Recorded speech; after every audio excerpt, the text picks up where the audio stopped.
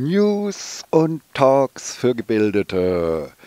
Der Weltnachrichtensender hat äh, veröffentlicht, dass ungefähr, ungefähr um die 70 Prozent der Bevölkerung eine Verschlechterung beim Klima innerhalb des letzten Jahres sehen. Also der ganze Wirbel von Greta Thunberg und Fridays for Future hat zwar überall Lippenbekenntnisse gebracht, aber das tatsächliche Verhalten der Weltbevölkerung ist mehr CO2-Ausstoß vielleicht sogar noch mehr, als wenn es Fridays for Future und Greta Thunberg nicht gegeben hätte, weiß man nicht. Ne?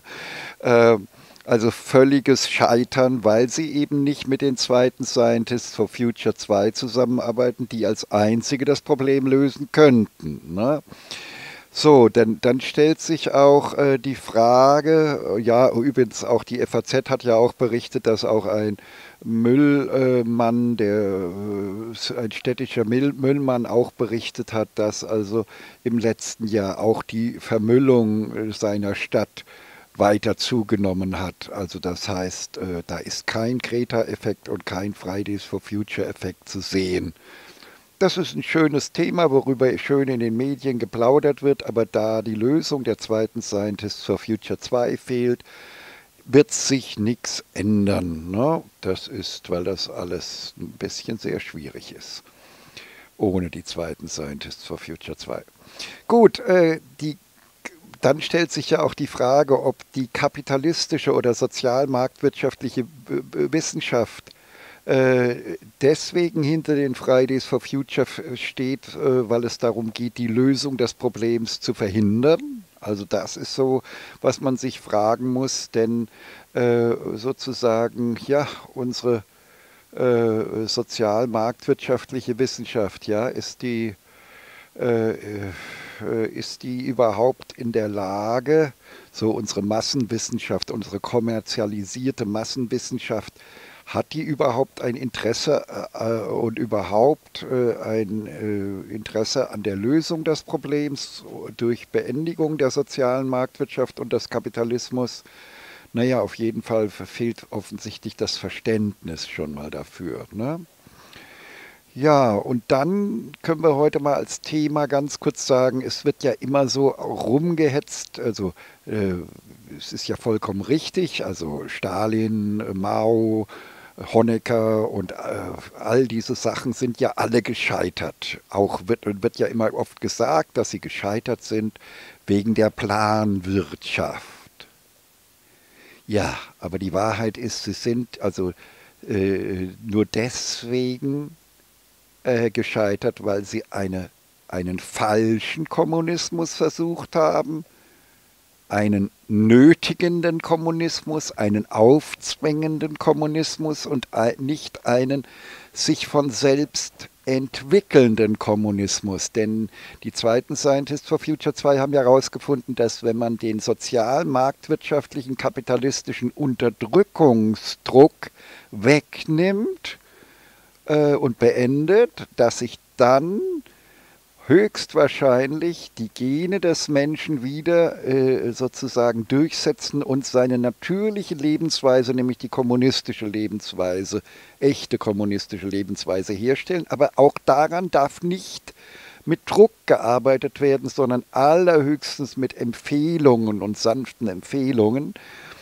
Und und dann ist, äh, ist es auch möglich, eine echte kommunistische Planwirtschaft zu machen. Darum geht es ja. Also die die, die gescheiterten Planwirtschaften, das kennen wir ja alles. Da hat, hat man gedacht, äh, man wüsste, äh, wo, wann, wie viel Schrauben gebraucht werden und hat einen Plan aufgestellt und dann hat dieser Plan, stand dann äh, in keinem Verhältnis zur Realität. Entweder wurden zu viel Schrauben hergestellt oder zu wenig Schrauben hergestellt.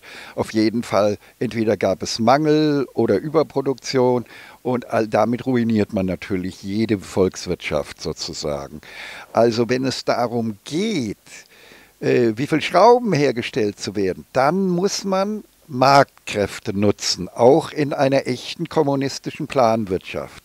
Aber wenn es darum geht, äh, die Wirtschaft zu lenken, also die Wirtschaft planmäßig zu lenken, also eine echte kommunistische Planwirtschaft zu machen, dann muss man eben, äh, eben die Wohlfühlnoten, meine Wohlfühlnoten und meine Gesundheitsdaten zur, äh, zur, äh, zur äh, äh, Ermittlungsgrundlage für den Verdienst jedes Wirtschaftstreibenden sozusagen herziehen. Und wenn man das macht, also wenn, wenn quasi die Wohlfühlnoten je aller Bürger zusammengenommen sozusagen und die Gesundheitsdaten aller Bürger, also na, äh, über alle äh, sozusagen zur, zur, zur Ermittlung aller Verdienste und Einnahmen aller Wirtschaftstreibenden her, herangezogen werden, dann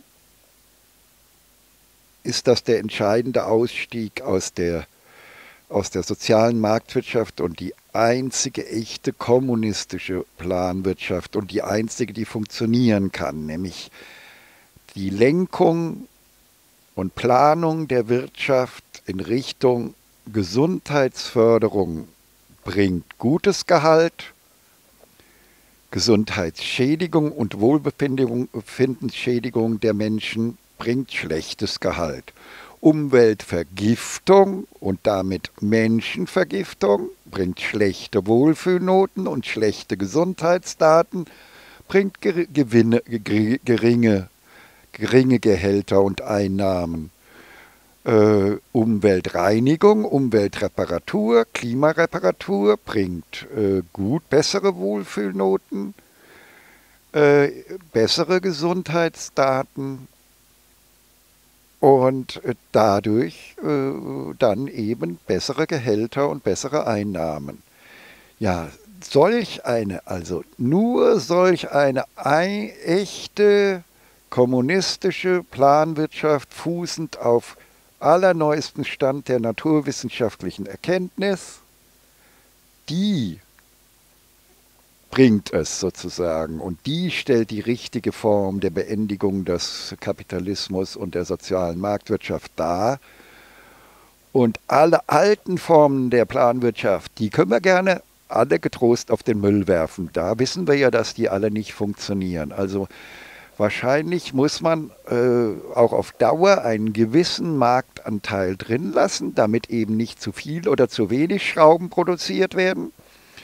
Und, äh, äh, und äh, äh, aber an der die gesamte Wirtschaft muss durch eine echte kommunistische Planwirtschaft gelenkt werden, aber nur bezüglich Wohlfühlnoten, Gesundheitsdaten und so weiter, aber nicht bis in die Schraube hinein. Da müssen dann die Marktkräfte, da sind dann die Marktkräfte besser sozusagen. Ja, alles klar, tschüssi.